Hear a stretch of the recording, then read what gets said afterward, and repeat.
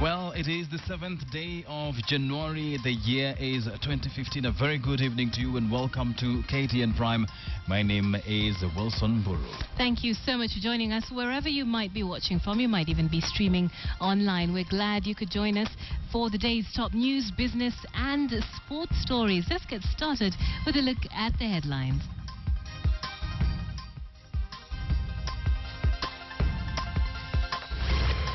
Similar proposals were given to us. We went through them one by one, but they lacked the most important ingredient.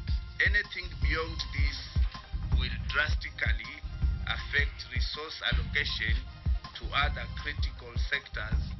KUPPET goes the not way. Teachers' strike continues as government offer is rejected again. And when it came to 2007, when the deputy president was in ODM, Meshak was in PNU, which was also a direct contrast. Nilikuwa tunasikia allegations ya watu kwamba ati yeye ni ICC witness.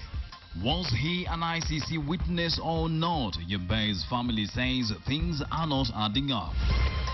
how come the prosecution through Ken Wafula got access in its dealings to a defense witness, one Meshach Yebei. most of the witnesses who have information about uh, the death of, uh, of Meshach are not very comfortable in talking to the police. Another spanner in the works as Jubilee wants activist Ken Wafula probed over Yebei's murder. And terror in France. Gunmen killed 12 at Paris media headquarters.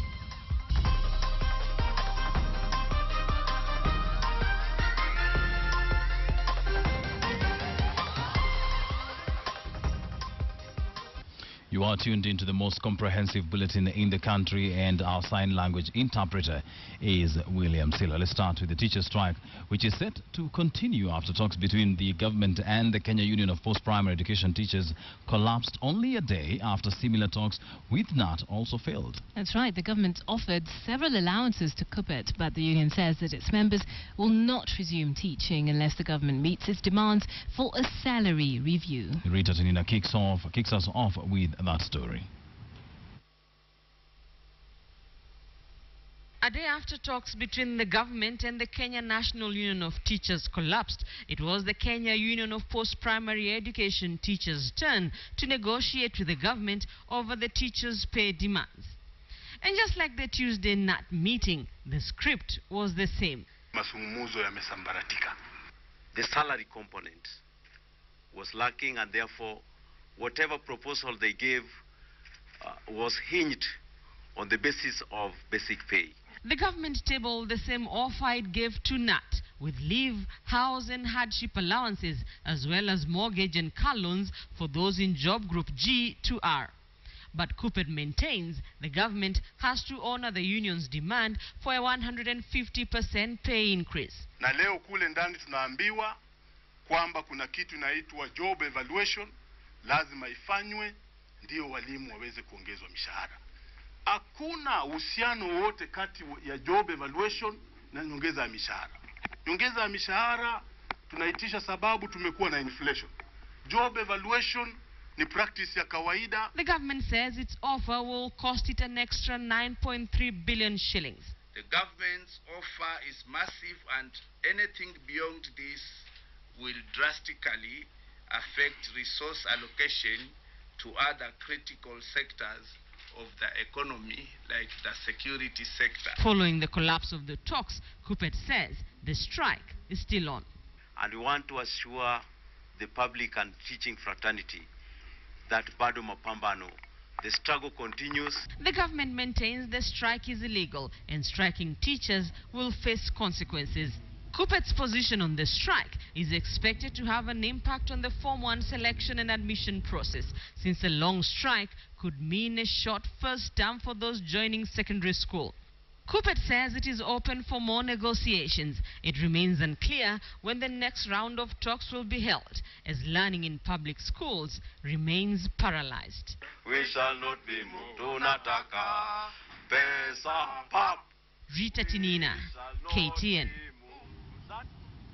Now, due to the teacher strike, Kenyan students in public schools have so far lost 15 hours of learning time that will never be recovered. Stakeholders in the education sector are now concerned that the perennial teacher strikes are costing students vital time in class. As KTN's Asha Mwilu now reports, the short-lived strikes could be degrading Kenya's struggling public education sector. In a month, 14-year-old Jane Amondi will be joining high school. Though she scored 391 marks out of 500 in her KCPE, Jane is not happy. She was always an above-average student, she says, but she's convinced that the unending teachers' strikes in 2013 and 2014 affected her final years of primary study. So decided to teach others what they don't know. Like I was good in mathematics, so I'll go to the board and like starting uh, start discussing with them some topics that they didn't understand better with the teachers. And another people who is good in another subject does the same. If they were there, they could have explained better the things that I didn't know. Since they were not there, uh, I didn't get them better now. Angepata hata 430 kama ni eh. Hata hata yeye alikuwa anatarajia hiyo 430. Like Helen, the industrial action by teachers has left a bitter taste for many Kenyan parents. Lobby group Elimu Yetu Coalition wants a radical measure from the president. We want to say no to the manipulations of the unions and now demand that you, Mr. President, direct immediately the closure of all public schools in Kenya and organize for national dialogue to provide a lasting solution to this menace. A 2013 survey by World Bank revealed shocking details of the state of teaching in Kenyan public schools. Out of 100 public school teachers, only 55 were found teaching in class. 27 were in the school staff room but not teaching. 18 were absent from school. Uwezo Kenya, in a 2012 survey, also revealed the effects of poor teaching in public schools. Out of 100 children in classes 4 and 5 in public schools, more than 50 could not understand a class 2 story. A long time ago, there was a Last year, KTN witnessed how a class 2 student in a private school could read a story from their level comfortably. But a class 7 pupil from a public school given the same passage could hardly string a sentence. She, she loved it very much. She did not she did not want the animals to eat it. We are opposed to the blanket statement of increasing everyone's salary, irrespective of whether they taught, irrespective of whether they were drunk when they were supposed to be in class, irrespective of whether they did not show up in class in the first place. We are saying no. As opposed to the blanket thing, we want to see a debate on productivity. How did you perform as a teacher? So that we can say, do you deserve a promotion or do you even deserve a demotion? On average, teachers' strikes in Kenya last about five days. This means that students in public schools lose about five hours learning time per day during the strike. But while the effects of these strikes are yet to be measured and quantified, only students like Jane Amondi can tell of how the strikes have affected them. KTN. Some worrying statistics about the state of public education. Now, a day after Deputy President William Ruto, through his lawyers, stated that Meshak Yebei was a defense witness, the family of Meshak has maintained that they are not aware that their kin was a witness for the defense. The family instead pointed out that the deceased Yebei's divergent political stand with William Ruto stood out from the 2002 general elections. Mercy Kandia reports on the confusion that has now rocked Yebei's family. Her eyes tell it all, a story of confusion, one that just doesn't add up. Her husband, Meshach Yebei, disappeared on the 28th of December 2014 and was found dead in River Yala on the Nandi County side. Lillian Yebei and her now deceased husband had taken their sick child to the Turbo Health Center. They stop your vomiting. Sasa akatoka akafunga gari na akatoka akaenda kununua maji, na tangu siku hiyo hajairudi. The International Criminal Court has since issued what it called a clarification on the issue, but the statement appeared to confuse matters even more. The Hague-based court confirmed that Meshach Yebei was not a prosecution witness, but that he had been offered residence elsewhere, which he did not take up, choosing to return to Eldoret. It was still mere suspicion, but uh, Meshach had not formally informed us that he was an ICC witness. So I cannot allege or I cannot confirm that fact. Neither can I deny the same because most of his friends seem to be um, indicating that he must have had some association with the ICC cases going on at The Hague. Witness wa ICC. Nil- Nilikuwa tu nasikia allegations ya watu kwamba ati yeye eh, ni ICC witness, lakini hakuwahi niambia. Adding a new twist to the mystery tale was Deputy President William Ruto. Through his lawyer Karim Khan, Ruto's lawyer said Yebei was one of the Deputy President witnesses at the International Criminal Court. But the family maintains their kin was not an ICC witness, but had reported on September last year that his life was in danger. Don't have a direct um, communication as to how Meshach related to the deputy president. But what I know is the deputy president was uh, the party leader for URP, whereas, Meshach uh, stood independent or away from that. And as you know, the deputy president was uh, the, the Khan appointment in 2002 while Meshak was in NARC. So, of course, that is those were two main opposing sides. And then when it came to 2007, when the deputy president was in ODM, Meshak was in PNU, which was also a direct contrast.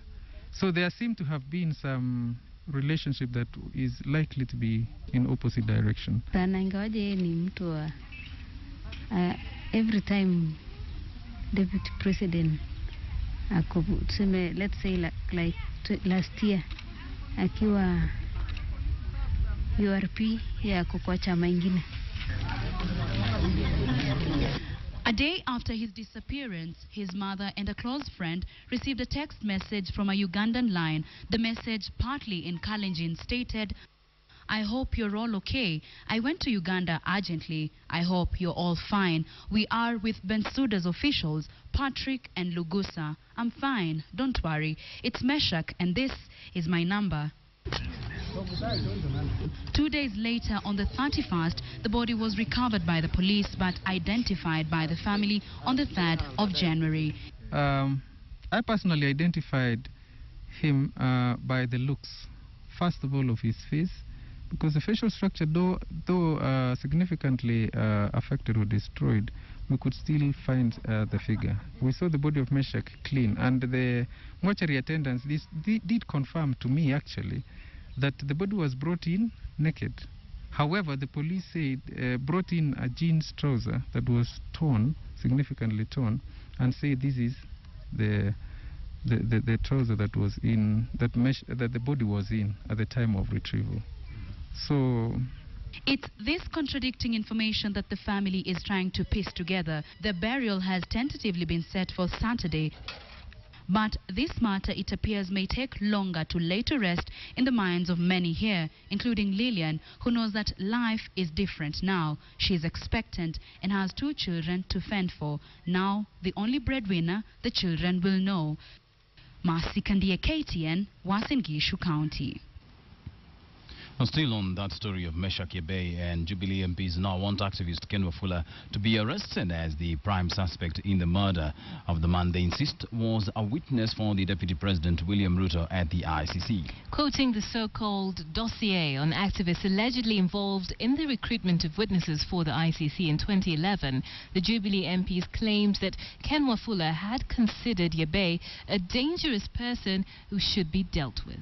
But speaking in Eldoret earlier today, the activist Ken Wafula also expressed concerns over threats on the lives of ICC witnesses. Yebei was a witness of the defense.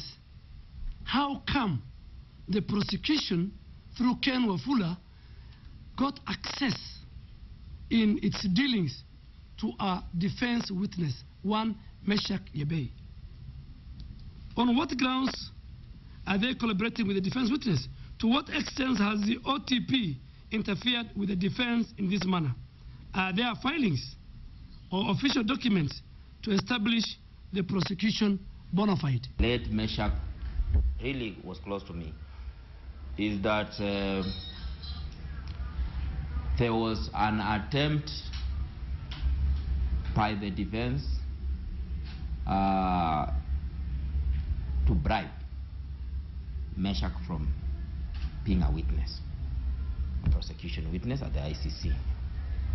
And uh, this plan was actually, uh, the plan was developed at Kaptagat Hotel early last year.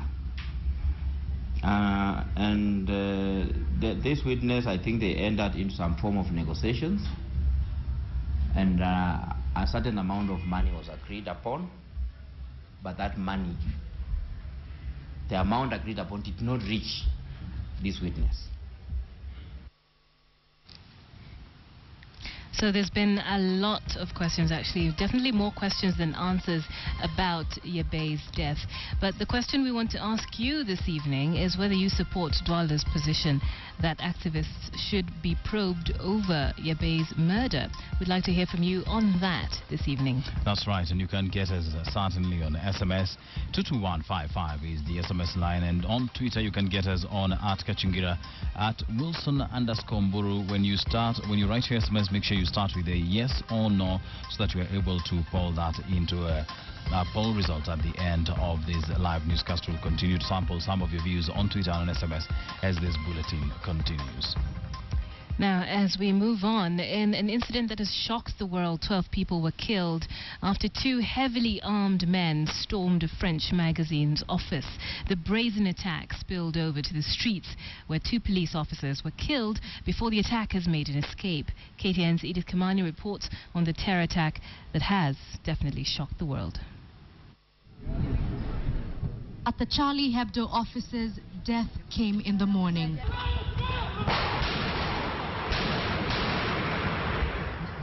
These disturbing images showing the last of what is believed to have been a five-minute killing spree.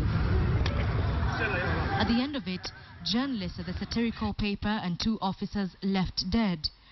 Reports indicate the gunmen stormed the magazine newsroom where an editorial meeting was taking place and opened fire. The magazine is known for its daring humor, especially on religious matters. In November of 2011, the offices of the magazine were firebombed after they published a cartoon depicting the Islam prophet Muhammad. Speculation is rife that the magazine may have been targeted because of a tweet showing a cartoon of the Islamic State militant group leader Abu Bakr al-Baghdadi. Police have been in pursuit of the attackers since they fled the scene, and it is believed the gunmen switched cars at some point during their escape. French President Francois Hollande, who arrived at the scene shortly after the attack, said the French people were attacked for being a country of liberty. Global leaders, including US President Barack Obama and UK Prime Minister David Cameron, also condemned the attack shortly after it happened. Edith Kimani, KTN. And the public today got an opportunity to view the body of the late Fidel Odinga at the Lee Funeral Home here in Nairobi. Yes, as came as leaders continued trooping in to Raila Odinga's home to give their condolences.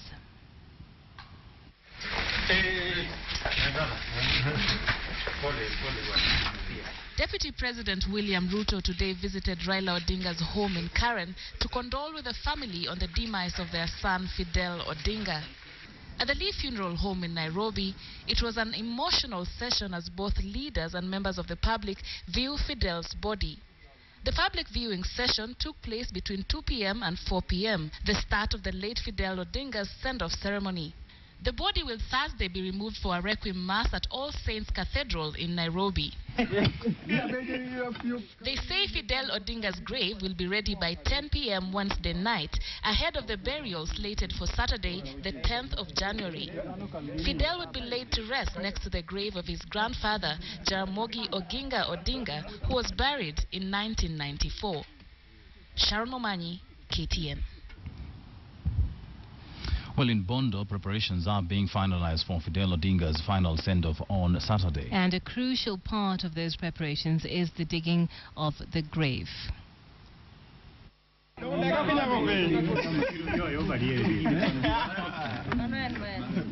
Julius Ochieng pours a traditional drink into what will be Fidel Odinga's final resting place. Before giving it to his colleagues to sip in rounds, Julius, together with six fellow grave diggers, have chosen to do this voluntarily as Fidel Odinga was a close friend to their youth group. Sisi tunamchimba, lakini Kirot alikuwa shujaa kwetu sisi mavijana. Sasa tumetupa mmoja wetu eh, sana sana kwa hii boma, yeye ndio tulikuwa tunashirikiana naye sana sana sana sana. Yeye roughly 73 ni am 74. Kwanza roho yangu ni mbaya sana eh, sio kwa furaha yangu kuja kufanya hii kazi juu ya nini hii kaburi ya Fidel, juu nimepoteza mtu mwingine alikuwa ananisaidia kabla. Kwanza aliniambia kitambo ati oh, kijana yako ambaye kama mtu mmoja atakuja kuperform well kwa masomo atakuja kunisaidia. According to Julius, who has been a grave digger for over 20 years, these rituals will be done soon after they finish digging the grave. Wakati nimemwaga hiyo pombe ndani e, wazee wanaikubali hapo hivyo mahali, hata kama ilikuwa ni ngumu, inaenda kurejea e, na kazi itaendelea hadi ifike mwisho. Hiyo drink naye iko, chakula iko. E, chakula iko kabisa, lazima tushibe. Ndio tufanye hiyo kazi. Zamani ilikuwa mambo nasema kama ni nataka kusika ile mtu pale, wasee ndio ilikuwa anafanya nini, nasimamia. Ati nasema hivi na hivi, lakini siku hizi ni watu wa Kristo. The grave diggers charge close to 4,000 shillings for a grave, and this they say is a well-paying job as they are always on demand. Kama mimi mimi mzee, mimi nalisha familia. Sasa nikipewa kitu kidogo hivi niki- nikipiga kona naweza onja kidogo, lakini pale familia nataka pia wanakula 90% na mimi nichukue tena. Due to Fidel Odinga's friendliness and kind heart towards the people of Nyamira village in Bondo, other youths have already joined the grave digging exercise. This will be Fidel Castro Odinga's final resting place, and according to these grave diggers who began their work soon after midday, they hope to complete their job by 10 p.m. Victor Ugale, KTN, Bondo, the county of Siaya. You're watching KTN Prime. Let's uh, quickly remind you of our big cue this evening. The question we're asking you is whether you support Duale's position that activists should be probed over Yebei's murder. And he did single out uh, Ken Wafula as someone who might have answers to this very, very sad incident. I'll just read a quick tweet here from Ryan Samir. He says, Yes, if Ken's allegations are genuine, let him be probed, but avoid politicizing the issue. Killing does hurt. Of course, here the family are the real losers in this situation. Very, Harriet. very hard for them. Absolutely. Harriet Anyonje here says no. Why should they? And yet they aren't suspects of Yebei's murder. These are, of course, your views. Um, MC Trigger here says uh, Sashan contradicts the family side of the story. Um, Sky T Karaoke says, indeed, activists should be probed. Imagine Yebei was an Office of the Prosecution witness, they could be singing. If Yebei was an off OTP witness, they could be sing, singing a different tune. So, of course, your views continue sending them on at Kachungira, at Wilson underscore Mburu, and on the SMS is two, the SMS line rather is 22155. Start with a yes or no.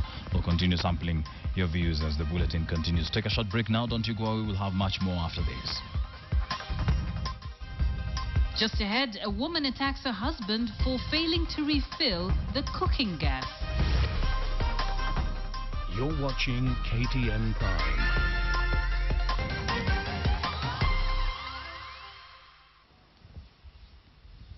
Welcome back. You are certainly watching KTN Prime. Now, police in Nairobi have arrested a woman who allegedly caused serious burns on her husband's body after he failed to carry out an assignment in the house. She's accused of throwing a burning stove at her husband for failing to refill the cooking gas. At the St. Francis Community Hospital in Kasarani, Peter Karaoke gives a blank stare to the attending nurses. At a glance, he looks rather calm, but he knows too well how lucky he is to still be alive. On the 11th of November last year, he says his wife came home and started a confrontation that would lead Karaoke straight to a hospital ward. She, she asked me, do you know that I can burn you? I, I dared her to do that. I dared her to do that, and then I, I didn't, I didn't know that, that she was, she was serious. His wife allegedly threw a burning stove at him for failing to refill a cooking gas as he had earlier promised. Peter says they have had differences before, but not of this magnitude. She was laughing. Uh, I, she was laughing at me and telling me this, this is just but the beginning. He was rushed to the hospital having suffered serious burns. He's undergone grafting in theater. Uh, he's doing daily dressing and uh, daily cleaning and dressing, and the wounds are showing a lot of improvement. Peter says his wife has not come to visit him in hospital. She has been telling me, I'll do something, I'll harm you one day, and you and your people you'll regret. One day you, pe you people and your, uh, you and your people you'll regret. They had been married for 11 years and have been living in Nairobi's Utawala estate with their two children. His sisters reportedly brought him here at St. Francis Hospital after realizing that his wife was unwilling to get him proper medical care after the incident. Now as you are, you are going to the hospital, she continued, she continued quarreling. Uh, it's like she was telling me najifanya hata hakuna kitu nimekufanyia ingine itaku, itakuja He has since filed a case at the Ruai police station over battery charges. The police are searching for the wife. Timothy Otieno, KTN. Now, Security Consultative meeting of North Rift and Upper Eastern leaders has resolved that Parliament should fast-track the legis legislation to make cattle rustling a capital offence. And as Patrick Amimo reports, Interior Cabinet Secretary Joseph Nkaissery says the chiefs who will allow footprints of stolen animals into their locations will be held responsible and locals forced to replace stolen livestock. Elected leaders drawn from Turkana, West Pokot, Baringo, Samburu, Laikipia, Isiolo and Marsabit counties that are prone to cattle rustling converged in Nairobi for a consultative security meeting on rampant insecurity in North Rift and Upper Eastern regions of Kenya.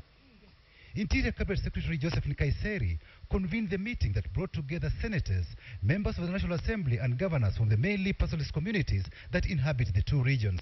I'd like to applaud all my colleagues too who've come and who are committed that we will end this issue once and for all in 2015 and we are very committed. Leaders held three closed-door sessions that lasted six hours due to what those privy to the meetings said was the complexity of the matters being discussed. The leaders were drawn from different pastoralist communities who have a long-term suspicions against each other. The leaders agreed on the Bomber Declaration, which resolved a raft of measures to deal with cattle rustling and promote peace and security. They resolved that Parliament should fast-track enactment of legislation to make cattle rustling a capital offence. The Cabinet Secretary for Interior was asked to enforce the law to deal with impunity by instilling punitive measures on communities that encourage cattle rustling. Mechanisms also been instituted to track stolen animals and ensure those responsible replace them and are held to account. The security law is not supposed to be popular. It is meant to secure the citizen and their property. If the footprints of cattle reach your location, you will be responsible. And that particular location, the leaders, the assistant chief, the chief, we will get the equal number of cattle from your location if you allow those cattle to disappear from your location. Other measures agreed on include return of government arms that had been taken by bandits, especially in Kapedo and Baragoi attacks. Communities will be involved in disarmament process by creating modalities for comprehensive and simultaneous disarmament. A comprehensive livestock census and branding will also be undertaken. The government was eyed to resolve county boundaries disputes through harmonizing constituency and administration boundaries. It was also agreed that partnership between the national and county governments should be enhanced in the management of security in counties. However, previous disarmament exercises have been criticized by leaders, with some even calling for the withdrawal of the military that is involved in mopping up illegal firearms. Will the government get total support this time round? By their presence here and the resolution passed here, it's a decision which has been reached and everybody has agreed. The leaders agreed to have the National Cohesion and Integration Commission to monitor persons who incite communities to engage in conflicts and take appropriate action. Patrick Amimo, KTN.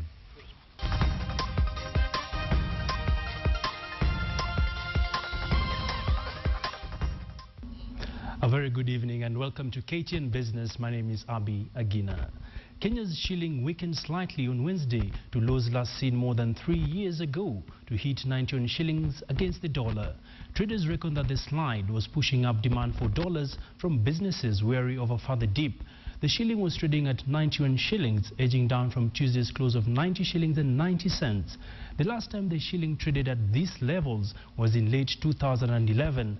The stab at the 91 level was prompting some extra demand from companies and other investors concerned that the currency would slide further, traders said. Hmm. Well, the Kenya Revenue Authority has emphasized that stockbrokers and agents carry the full responsibility of collecting and accounting for the capital gains tax as far as stock market transactions are concerned. The levy, which is making a comeback since its take, I beg your pardon, the levy which is coming back uh, from suspension in 1985 is charged on profits realized from sale of shares, securities, property and other assets. The government has been implementing it at 5% from the 2nd of January this year. KRA has, however, had it rough with stockbrokers who have held to the opinion that their systems do not have the required capacity to collect and account for the levy. KTN's Charles Gitonga has the details. Last year, the Treasury did announce the introduction of capital gains tax amid hue and cry from property dealers and stockbrokers. But the government stuck to its guns, defending the decision. Treasury's position was that the capital gains tax will aid in financing the 1.8 trillion shilling budget. From capital gains tax, KRA is projecting to raise about 7 billion shillings in 2015. But as far as stock market transactions are concerned, the taxman is not having it easy as stockbrokers claim that they are not legally mandated to collect the levy on their behalf. I think the main challenge is, is on the obligation of the broker to, to, to calculate uh, the, the gains and losses experienced by an investor. I think one of the main challenges is you know, upgrading the system. How do you ensure that the system is upgraded in such a way that such transactions can be calculated automatically? The last six days have been marked with some confusion at the Nairobi Securities Exchange as investors took a backseat to understand how the Kenya Revenues Authority will implement the capital gains tax. And now the authority is out to shed more light on this issue. The responsibility to collect and account for capital gains tax lies with the stockbroker or agent handling the sale and transfer of shares or bonds. The taxman further says that he has revised the guidelines as regards to the levy. Njiraini notes that they have issued key players such as the Nairobi Securities Exchange, Capital Markets Authority and the Association of Brokers with clear reference prices in respect to share transactions. The guidelines read that for stocks acquired before January 1998, the highest share price achieved at the stock exchange in 1998 will be the reference price. For stocks acquired between 1998 and December 2004, the reference price will be the highest share price achieved in the year of purchase. For shares acquired from January 2005 to date, reference will be made to the actual price as reflected in the central depository system. So far into this year, stockbrokers have shied away from collecting and accounting for this tax, which means that KRA has missed the opportunity to net in millions of shillings. We are prepared and ready to implement it and we're actually implementing it. The taxman now says that talks are ongoing between them and other stakeholders on how this tax will be implemented smoothly and effectively. Charles Gitonga, KTN. Well, many thanks there, Charles. Online trading is making significant inroads in Kenya, even as more consumers opt to shop online. In an exclusive interview with KTN Business, OLX country manager Peter Ndiangui shares on what is fueling the growth of online shopping and gives a market outlook for 2015. In the last uh, two years, what we've seen is uh, Kenyans take uh, online buying and selling with uh, tremendous speed.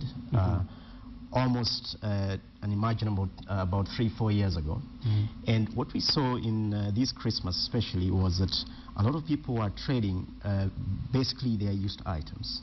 Uh, I think in preparation for uh, uh, the holidays and they wanted to make some quick cash and go maybe to their uh, uh, homes and others maybe waiting to uh, make some money for school fees. So we saw people actually selling more and uh, the buying uh, uh, aspect of our platform was uh, probably not as huge as the selling part. Uh-huh. Yeah. Would you maybe have any statistics in terms of the traffic, um, looking at uh, the activity that you witnessed over the festive season? Yeah, I think we saw uh, on daily average uh, over uh, 5,000 people every day uh, trading their items, uh, especially on the just day before Christmas. But actually, that was uh, a law of what we see. Uh, I think people, when they start going for holidays, they probably don't sell as much as when uh, they are during their week or during the weekend. But it's still quite a huge activity, seeing uh, you know thousands of people making uh, sales over the uh, over our platform. What's really fueling online trading? One of the things is uh, cheap uh, mobile phones. Sure. Uh, the other thing has been uh, uh, cheap broadband, which is, uh, of course, has happened because of the fiber optic uh, that has been laid across the country. And the third thing has been Kenyans being quite tech savvy and wanting to try new things. So I think a combination of things has happened that has driven uh, the online business to uh, uh, in, in a way that we never saw this happen before. And I think this is just a starting point. I think we're going to see tremendous growth in uh, e-commerce, especially in our own country where retail is still pretty much informal. Uh, what we'll see most likely is that uh, going forward, uh, we will have different channels that serve different uh, users. Well, Uchumi Supermarkets rights issue has been oversubscribed by 83% to hit 1.6 billion shillings against a target of 895 million shillings. This means that the retail chain's 99 million shares that were up for grabs at 9 shillings each have started trading at the Nairobi Securities Exchange as the firm seeks additional capital to finance its regional growth plans. Well, let's now take a look at the financial report.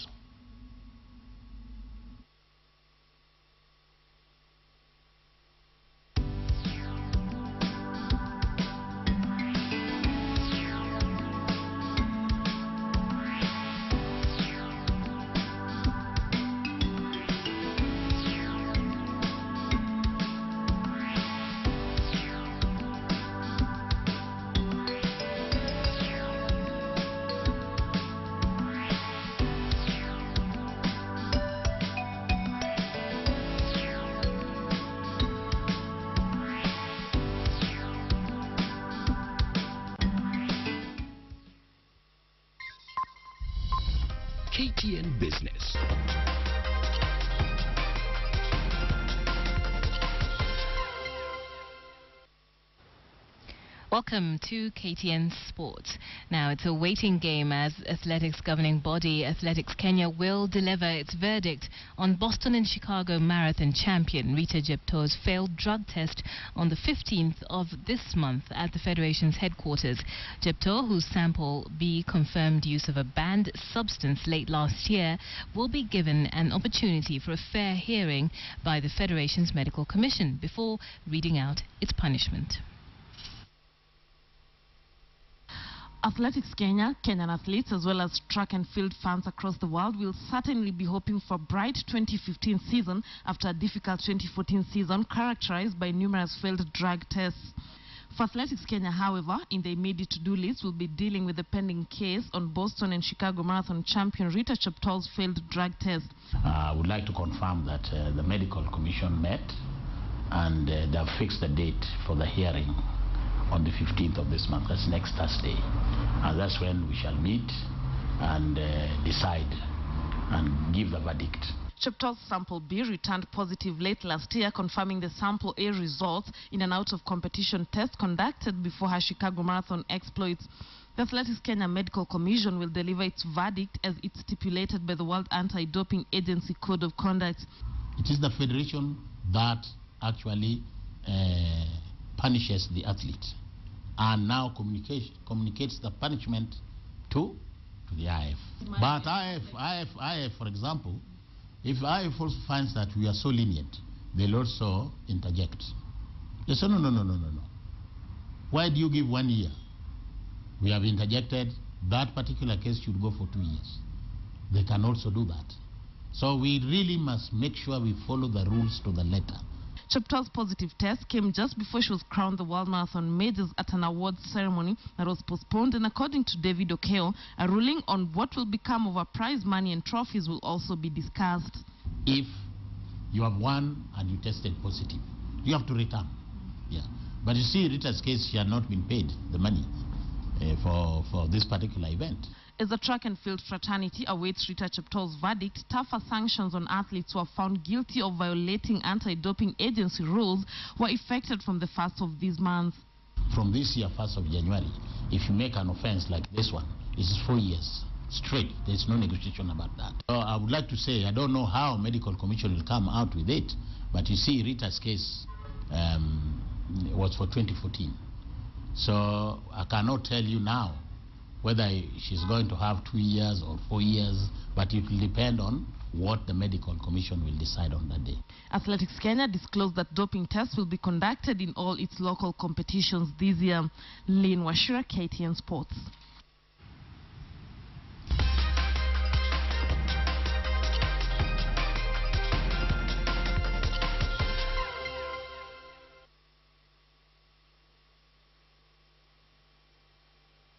KTN Weather.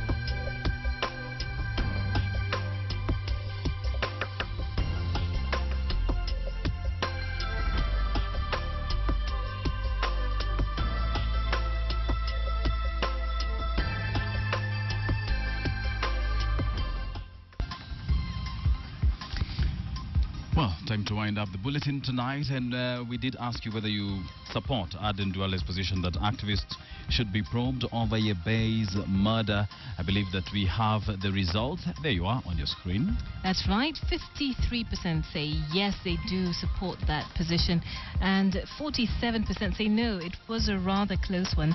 Thank you very much for your opinions uh, this evening. And we've got a few here that we'll read out. Uh, one here from Daniel Osiemo. He says, It's sad that politics has been brought to serious matters like death. And he says it's a definite no for him. Um, just as Obuya here says yes, judging from the email given by Duale, there is no there is need for investigations. Well, Henry Aketi says on Twitter that he cannot support Duale because the contradicting statements directly link the murder with the Ruto camp and not ICC. Mm. Um, let's see another one here from. Uh, Daniel Osiemo, who says no, it's sad that politics has been brought to serious matters like death. Well, thank you for your views this evening, for sharing them with us. And our sign language interpreter tonight was William Silla. We're just about to head out. But before we do that, we're going to hand you over to Jeff mm. Koinange. And birthday boy in it's town. his birthday. It's, a, it's his today. birthday. I don't know. That's Whether, right. I don't know whether he can hear us. Jeff, um, so sh should we sing a happy birthday I, I think it's only fitting. It's only right that we All do right, that. Let's, let's do this. Okay. All right. One, Two, two. three. Happy, Happy birthday, dear. Mine sounds Yeah, better Jeff, we're terrible at this, but happy birthday, and it's great to see you on Happy JKL. birthday, Jeff. and Happy New Year, by the way. That too. All right, from us here and uh, on Mombasa Road at the Standard Group Center. Enjoy the rest of your viewing. Enjoy Jeff Koinange live. I'm sure he has some uh, cracking stuff this year. Uh, my name is Wilson Mburu. See you tomorrow. I'm Nancy Kacungira. Good night. Wilson Nancy, I'm going to recommend some uh, singing lessons for you both, but uh, I get the picture. Thank you very much for those lovely birthday wishes. And to tens of thousands of people out there who've been wishing me all day today, thank you very much for those wonderful wishes. And by the way, my guest today just happens to share a birthday with me and some other great folks out there. Ken Jiru's on the bench today. We're going to be talking to you in a couple of minutes. Sanjay. Happy birthday, Ken. Thank you, Jeff. I never and, knew this. And happy birthday. Happy birthday. Yeah, I mean, this, this is a great coincidence. Shall we sing later? We shall sing at the end of the program. The- we in sing to each other. In the meantime, we've got a great show lined up for you today, Wilson Nancy. Tell the folks out there it's all about the state of the nation. Kenya, the way forward. From teachers striking to the security bill to folks being jailed for abusing our leaders, etc., etc., etc. It's going to be a great show. Hashtag is JKL, Twitter handle at Koinange Jeff, and at Ungwana Kenya. Make sure you start tweeting. Let's start talking. It's a new year. Let's do this. JKL, we'll be back in a moment.